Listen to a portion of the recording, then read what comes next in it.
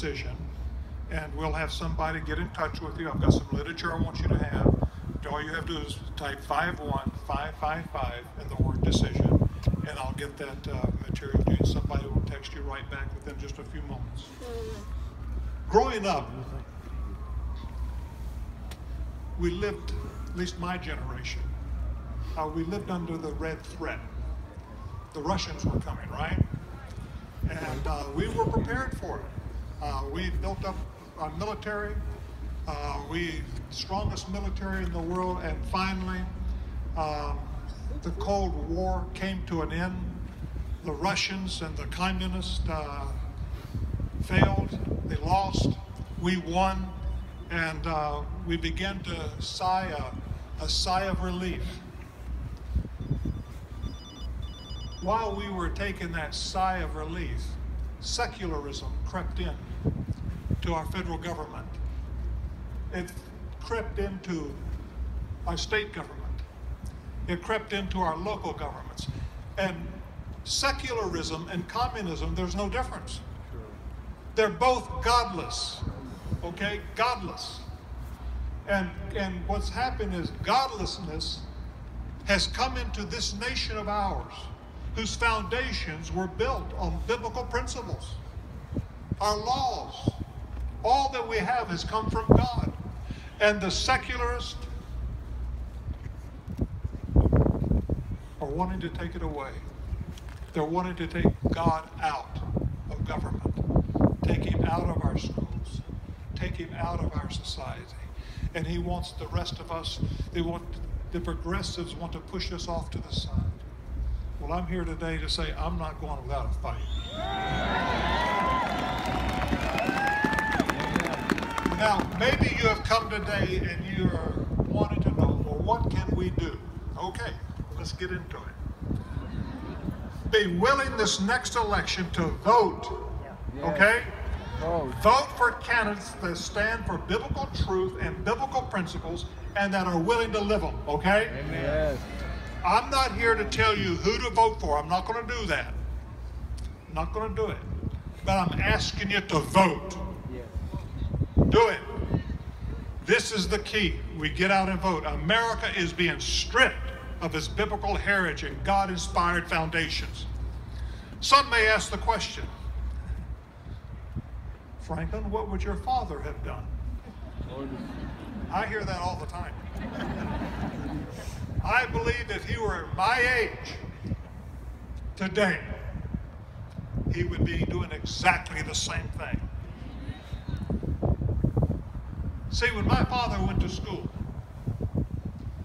the Ten Commandments were on the wall of the school.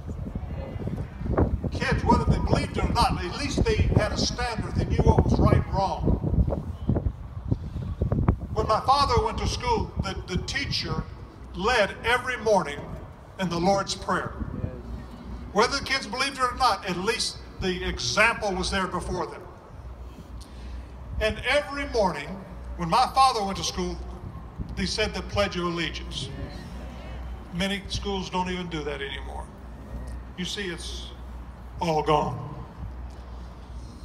But here's something my father said in 1976 Get involved in the political process. He said, This coming year is a, an election year.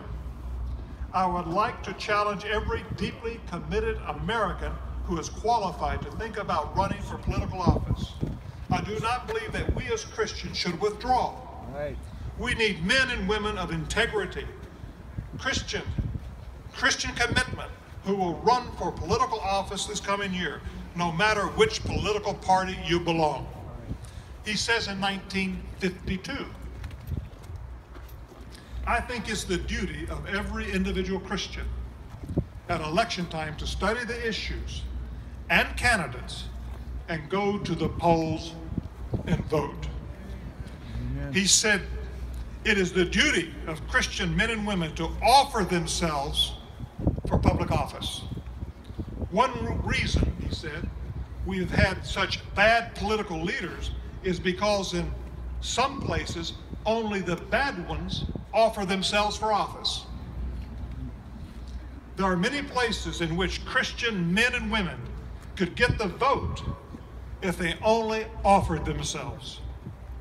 Daniel in the Bible lived in one of the most heathen countries in the world, but he was prime minister under seven kings in two empires. Amen. We need Daniels today. Amen.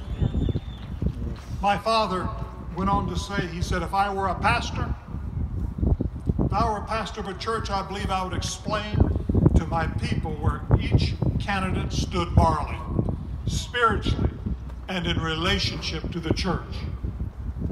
I feel that we're going to have to meet our political obligations as Christians and make our voices known if America is to be preserved with a type of Christian heritage that has given us the liberties we now enjoy.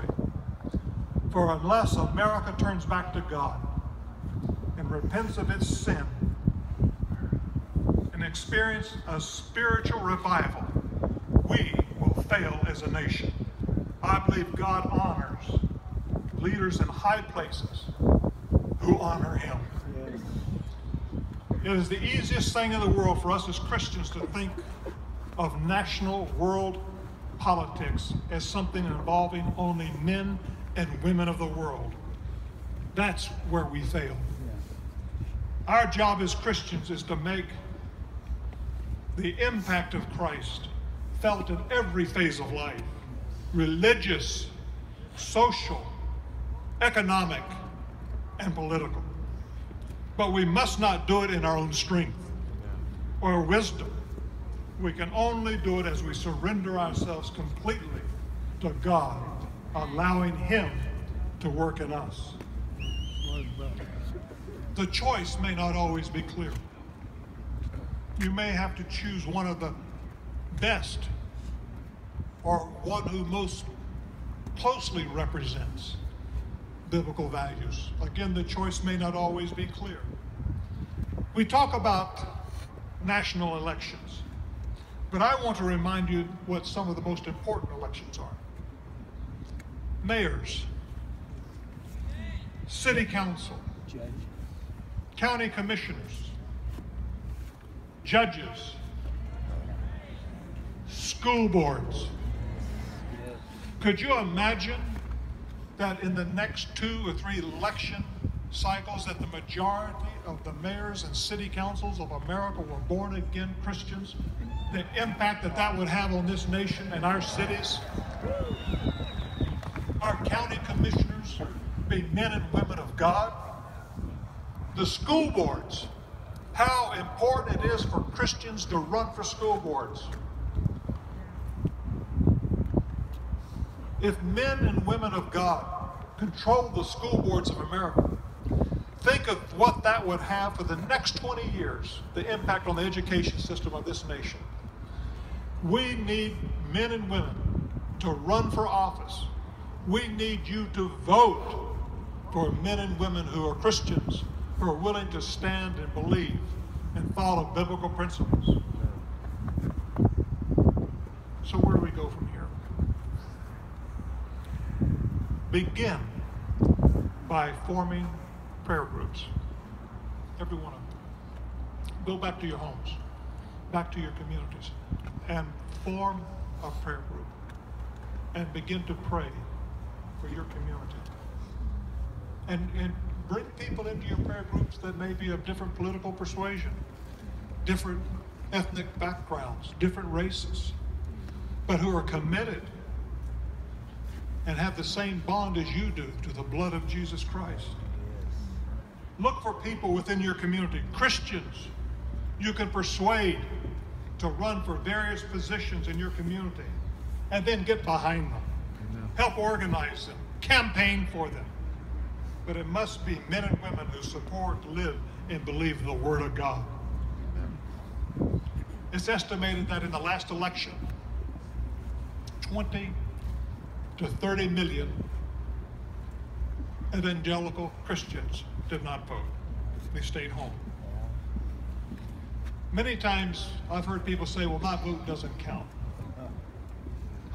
really? In 1974, the New Hampshire race for the U.S. Senate seat, John Durkin versus Louis Wyman from um, Wyman wins by 355 votes. They have a recount. Durkin wins now by 10 votes. They have another recount. Wyman wins now by two votes. The Democrat-led Senate declares the seat vacant with no winner. They said it was the closest call in Senate history. Uh, they had a special election, and Durkin won by 27,000 votes. But don't tell me your vote doesn't count. In 2004, Montana race for State House,